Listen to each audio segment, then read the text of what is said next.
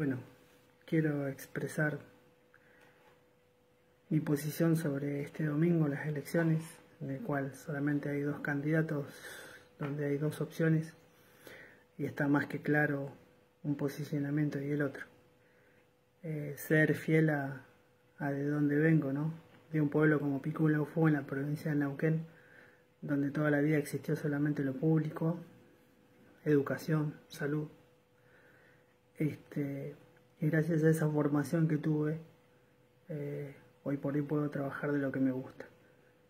Actualmente trabajando en una orquesta municipal que depende del Estado, depende de un programa del Estado como lo es música en bandada de la provincia. Este, eh, ver a tantos chicos y chicas acceder a un instrumento, poder tocar un instrumento haber podido realizar un evento de esta magnitud y que el mismo sea este, gratuito, ¿no? Eh, que el arte pueda estar en la gente. Todo esto se debe a, decisiones políticas estatales.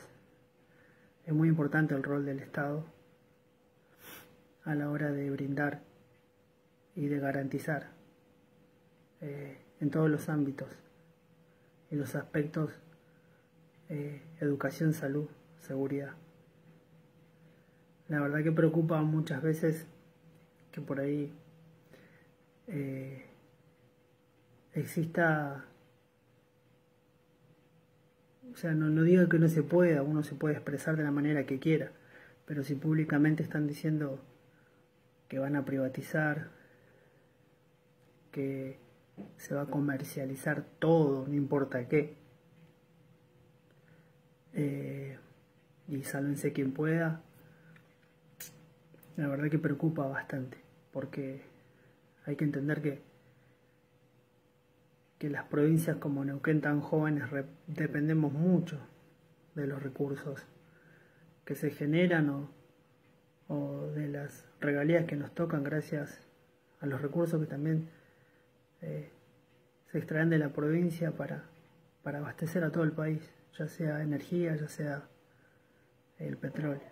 Este, y que de un lado alguien diga que se van a administrar los recursos y del otro lado alguien diga que va a buscar la manera de privatizar todo, no importa si de eso depende el crecimiento de una provincia, se busca cómo se privatiza y listo, se privatiza.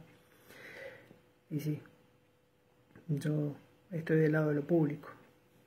Yo hoy trabajando en una orquesta municipal trabajando con familias,